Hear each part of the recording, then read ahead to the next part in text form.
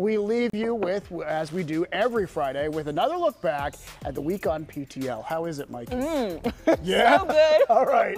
That's a wrap, everybody. Make it a great weekend, Pittsburgh. Thank you so much for watching. Dig in. Okay.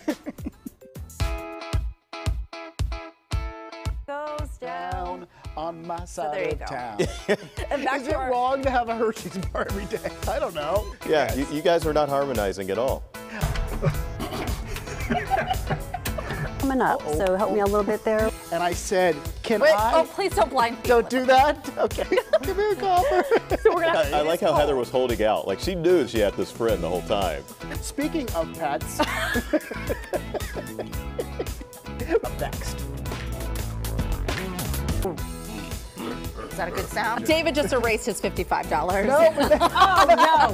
No, I'm glad we stuck with this to hear that. You know what? September is my favorite month. called the Labyrinth. And there's a labyrinth here. Ah, right. And my birthday's them. now we get to the real story. Nobody wants to see this on TV. I'm due for a pedicure today. Oh! Woo! Woo! Sorry, look out! No tight shots, please.